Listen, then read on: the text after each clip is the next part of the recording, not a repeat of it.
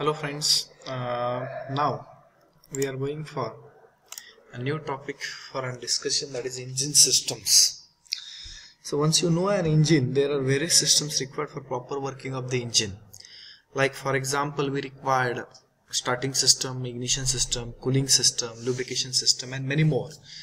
Such kind of systems are required for proper working of the engine. So if these systems are not working properly our engine also will not work proper so basically we are going to discuss about cooling system lubrication system starting system etc and how it works that we are going to see.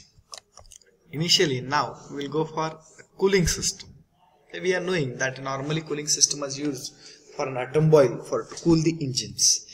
Now how this works what is the need of cooling system? If you don't provide a cooling system what will happen that we are going to discuss in this particular lecture in a cooling system or before going to the cooling system we should know heat balance of typical diesel engines. How the heat is produced and how heat is utilized for uh, particular engine that we are going to see. Now here in this particular part what we have shown is 100% heat of fuel supplied so when we burn an fuel it will generate a heat. That heat is considered to be 100% so generated heat is considered to be hundred percent. That hundred percent heat is utilized by many ways. So this is first second third way. The first way where it is utilized that is called as heat to exhaust gases. What is heat to exhaust gases? General percentage of heat to exhaust gases is 33 percent. Now it is not hard and fast that every vehicle should have 33 percent only. Some of the vehicle may have 30 percent some of the vehicle may have 35 percent but the general average percentage of heat which is going with exhaust gases is 33%. Another major part where the heat leaves to the atmosphere is heat to cooling water. It goes 31%.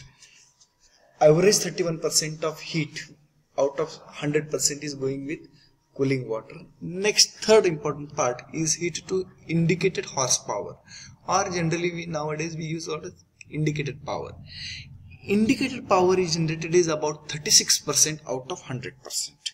Now this indicated power is also divided into two component like heat to friction and heat to brake power. Heat to friction and other it goes 10% and heat to brake power it's about 26%. So this is useful part. This part is useful part which we used for running the vehicle for the particular application. Whereas other parts like to the friction to the cooling water to the exhaust gas these are actually a wastage. These are actually wastage. And this is a useful part. So by this i can say that general efficiency thermal efficiency of the engine is about 26 percent. Some of the engine they are available with 30 percent. Nowadays 33 32 percent. But generally in the range of 26 to 30 percent brake power we will get. This is a typical heat balance of an engine. Now our focus is with this cooling water. So now we have to see that how heat can be removed by using cooling water or some other devices. So in this particular system I have to remove or we have to remove the 31% of heat from the engine. Okay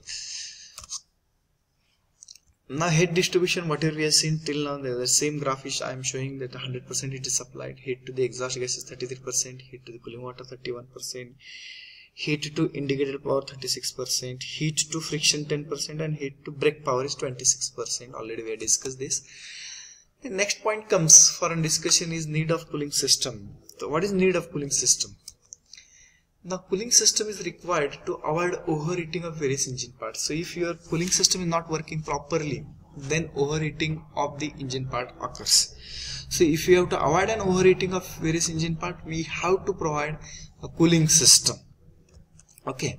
Now if overheating occurs if the cooling system is not working and overheating occurs the following trouble. Now what are the trouble? First trouble evaporation of lubricating oil which causes piston seizure and excessive friction between piston and cylinder. So generally what happen if your engine temperature goes on increases and as engine temperature increases the lubricating oil will get evaporated. Evaporated means what? Liquid get converted into the vapor. And as liquid will get converted into the vapor then the engine will become a dry and the metal part will come in contact with each other. And as metal part will come in contact with each other they will rub over each other and then there will be uh, friction generated and there will be loss of useful power. Second is because of high temperature thermal stress is also generated. We know thermal stress is generated because of high temperature. Uneven expansion of the engine part occur and because of that stress is generated that is called as thermal stresses. Then next trouble is piston ring are stucking. Now we discuss about thermal stresses and the piston ring because of uneven stresses generated the piston ring may get stuck into the engine part and then it may become quite difficult to remove it. Next is damage of piston and combustion chamber. So if overheating occurs there may be change in dimension. Because of change in dimension the piston may not move smoothly and then there may be a damage to the piston occurs. Next trouble is distortion or warping of exhaust valve. exhaust valve may change its shape because of uh, overheating and if it change shape then there will be uh, leakage occurs. So these are all need of the cooling system. If we have to avoid these all troubles what we have to do is we have to avoid overheating. And if we have to avoid overheating the cooling system should be working properly. If there is any trouble to the cooling system these are trouble coming to the engine. Okay. Now there are various types of the cooling system like air cooling system water cooling system etc out of that First is air cooling system. It's quite simple, mostly used for in two-wheelers where the engine size is less, the heat generated is less. You can see that the air cooling system is used and there we are using such kind of fins. You might be understood what is meant by fin from the knowledge of heat and mass transfer. The fin is the component which is provided to have more amount of heat transfer. By increasing area, it transfer more heat to the air and more heat going to the air. So such kind of fin you might be seen over the engine and over this there will be air flowing. As the air flows air temperature less fin temperature is more and as air temperature less fin temperature is more there will be heat transfer occurs. But this can be used only for small engine because small engine burns lesser amount of fuel and as lesser amount of fuel is burned the less amount of heat has to be removed. So small engine uses air cooling system. Another actual photograph of air cooling system here you can see that fins are present here. There is a fins are present here and that fin increases contact area and hence more amount of heat will be released. Now let us see one of the video of the air cooled engine this video we have taken from an youtube courtesy goes for youtube and let's understood how you this air cooling system works. Some engines use what are called cooling fins. Their design makes the exposed surface area as large as possible, which allows more heat energy to radiate away and be carried off in convection currents in the air. More air flows over the fins and more heat is carried away. For a vehicle moving at speed, airflow over the engine is high. At low speeds or during idling, heat builds up. Then the engine can use some help. Air should always be able to flow over the engine effectively. One way to remove heat is to use a fan with shrouds and ducts to direct air to the cylinders. There are many places to mount a fan and many ways to drive it.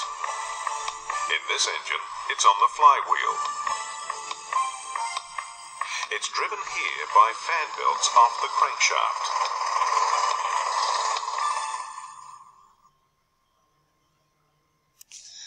So by the video we have seen some of the actual picture of the uh, air cooled system. At the same time we have seen that some of the applications are there where the fans are also used. So the diagram which is uh, required for an exam. So in the exam we cannot draw the actual photograph whatever you have seen. But we can draw the diagram like this. This is the air cooled engine system. So this is an engine. This is an engine cylinder. This is inlet valve. This is exhaust valve. And this whatever you are seeing this is what a fins this is what a fins and this is a spark plug. So what this fin does fin increases the contact area with the air. And as the contact area increases heat transfer will also goes on increases and more heat will be get rejected to the atmospheric air. So uh, all student can draw this particular figure for the air cooled system. Now let's move to the water cooled system in the water cool system there are various type of water cool system. That is thermosiphon cooling thermosiphon with wall etc etc there are many systems so we'll go one by one. And first system into that is a thermosiphon cooling system.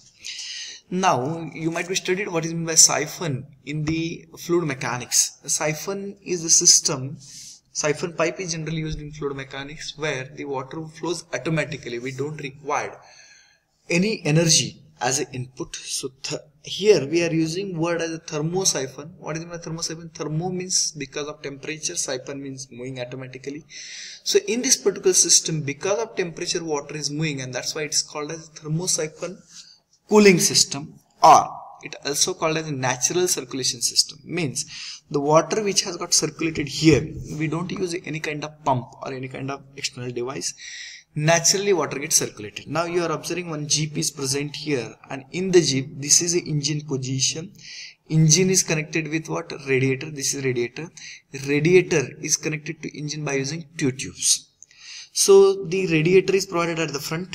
Radiator is provided at the front and it has also radiator fan. So detail. So by this figure we can understood where is the what is the position of a cooling system in the vehicle we can see that it's provided at the front so that natural air can also natural air can enter over the radiator and natural air can also used for cooling the system.